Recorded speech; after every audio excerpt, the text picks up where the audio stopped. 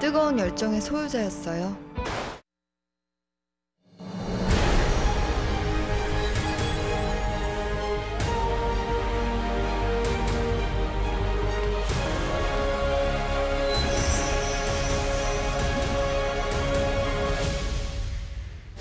자, MBC 선거방송 선택 2022 안녕하세요 이재은입니다. 아, 드디어 오늘입니다. 대한민국의 내일을 책임질 제 20대 대통령을 선출하는 선거일인데요. 다들 투표하셨겠죠? 저도 아까 점심 때 잠깐 짬내서 갔다 왔는데요. 네. 설마 투표를 할까 말까 망설이는 분들 안 계시겠죠? 안녕하세요. 조현영입니다. 선거 방송은 왜 MBC인지 1분 1초도 눈 뗄 틈이 없게 만들어 드리겠습니다. 아니 현영 씨, 근데 그렇다기에는 저희 무대가 지금 너무 텅 빈 것 같지 않으세요? 그래 보이죠? 네. 자, 전체를 보시면요.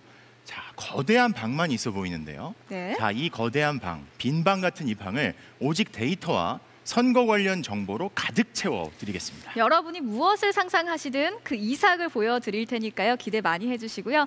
자, 지금 시각이 4시 16분을 지나고 있습니다. 먼저 투표 시간에 대한 안내를 좀 해드릴까요? 네, 우선 오늘 투표는 오후 6시까지입니다. 그리고 오후 6시부터 7시 30분까지 코로나 확진자와 격리자를 위한 투표 시간이 따로 운영이 되는데요. 네. 방역 당국으로부터 외출 허가를 받으셨다면 이 안내 문자를 가지고 투표를 하실 수가 있겠습니다. 네. 그리고 한 가지 더 부탁 말씀을 드리면요. 6시부터는 이제 확진자분들의 투표가 시작이 되잖아요. 그 전에 투표를 하셔야 하는 분들은 가급적이면 여섯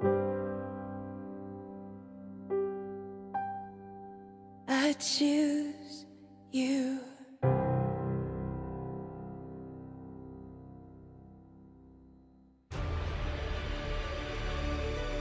MBC 선거 방송 선택 2022 2부 시작하겠습니다.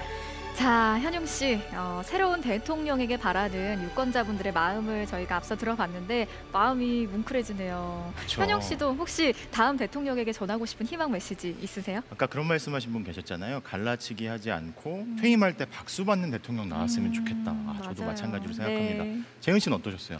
저도 한번 생각을 해봤습니다. 영상을 보면서 나는 어떤 희망을 가지고 투표를 했을까? 저는요, 어, 우리 청년들이 좀 마음껏 꿈을 꾸고 그 꿈을 이룰 수 있는 세상이 왔으면 좋겠다 이런 생각을 해봤습니다. 그러게요. 그래야 이 나라도 더 잘 살 텐데. 네. 자, 재은 씨의 희망도 그렇고 저의 희망도 그렇고 오늘 투표권을 행사하신 모든 분들의 희망이 다음 대통령을 통해서 꼭 실현되면 좋겠다 이런 생각을 하면서요. 네.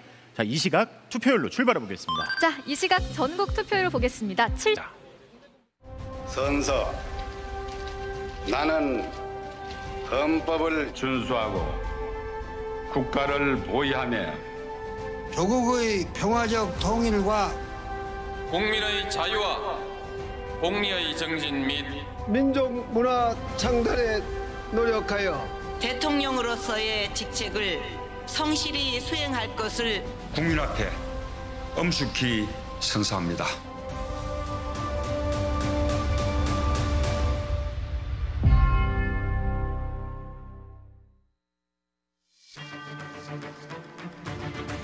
누적 확진자는 100만 명을 이틀 연속으로 최다치가 경신됐습니다. 오늘 아침 동해를 향해 중거리 탄도미사일을 발사했습니다. 전 세계 증시가 급격하게 하락하고 있습니다. 기름값까지 폭등하고 있습니다.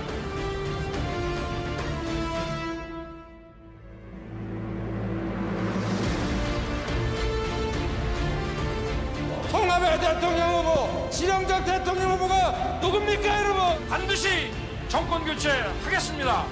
반드시 승리하겠습니다. 원정민주주의를 열어갈 후보 저신상정 살아남았습니다, 여러분.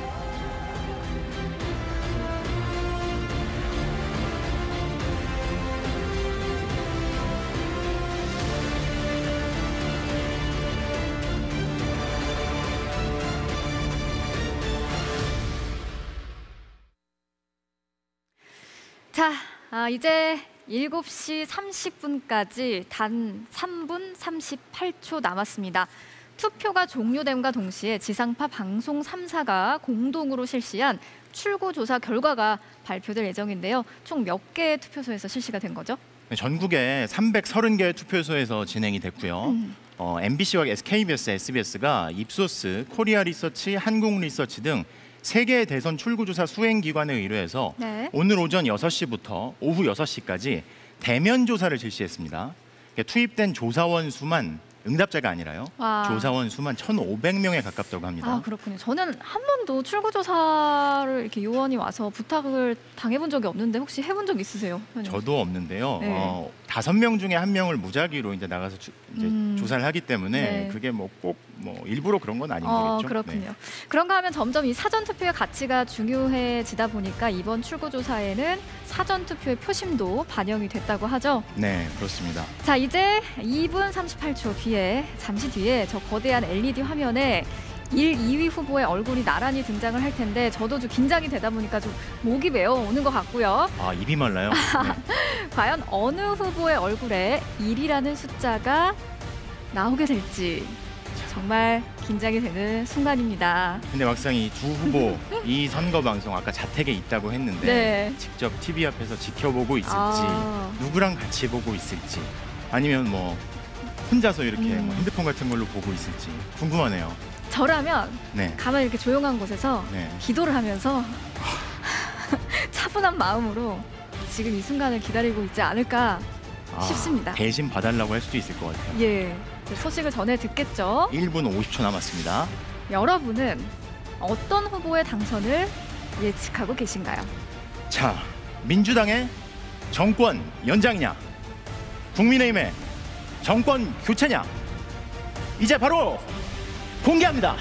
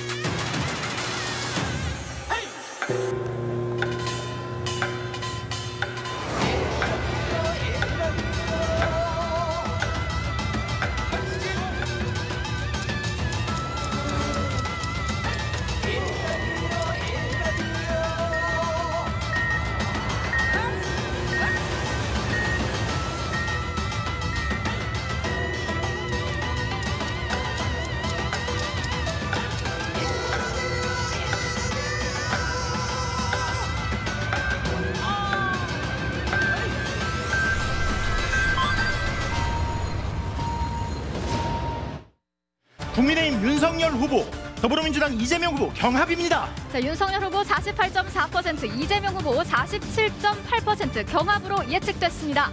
역대 가장 피말리는 개표전이 예상이 되는데요. 네. 0.6%포인트 차이죠. 양당의 분위기를 한번 보고 오겠습니다. 자, 먼저 국민의힘 보겠습니다. 지금 현재 박수를 치면서 환호하는 모습이 보이네요. 이준석 대표, 김기현 원내대표의 모습, 권영세 본부장의 모습도 보이고요. 어, 초접전 상황이긴 하지만 그래도 분위기가 어, 굉장히 좋습니다. 네. 민주당 볼까요? 자, 민주당 상황 보겠습니다. 0.6%포인트 차인데 송영길 대표 박수 보내고 있고요. 네. 자, 이낙연 전 의원의 모습도 보입니다. 추미애 전 경선에서 의원. 네, 경- 경쟁을 했었죠. 민주당 역시 박수를 치면서 환호를 보내고 네, 있습니다. 0.6% 포인트 차인데 아, 이게 나쁘지만 않은 분- 분위기로 보입니다. 네. 서로. 네.